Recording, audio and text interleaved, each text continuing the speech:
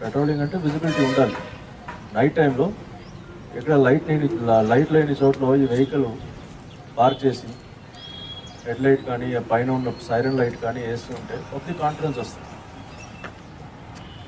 Night టైంలో చీకట్లో ఉన్నప్పుడు ఏదైనా ఇంటీరియర్ ఏరియాస్లో పిల్లలు కానీ అమ్మాయిలు కానీ ఏదైనా ఇంటికి వెళ్ళే టైంలో లైట్ లేని టైంలో ఇక్కడ ఈ వెహికల్ అక్కడ పార్క్ చేసి ఉంటే ఒక కాన్ఫిడెన్స్ వస్తుంది. ఏదైనా అవుటర్ సరౌండింగ్స్ విలేజెస్లో కానీ అవుటర్ టౌన్లో కానీ ఎక్కడైనా ప్రాపర్టీ అఫెన్సెస్ ఎక్కువ జరిగే చోట్ల ఈ వెహికల్ అక్కడ తిరుగు తిరుగుతూ ఉంటే కాన్ఫిడెన్స్ వస్తుంది.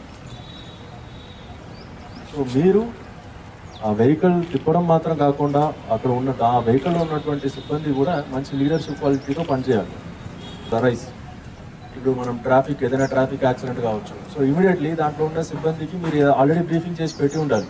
ఒక ట్రాఫిక్ యాక్సిడెంట్ అయిందంటే మీరు ఇట్లా రియాక్ట్ చేయాలి. వేరే అంబులెన్స్ కోసం వెయిట్ చేయాల్సిన అవసరం లేదు. బండిలో తీసుకొని హాస్పిటల్కి వెళ్ళండి అని చెప్పాలి.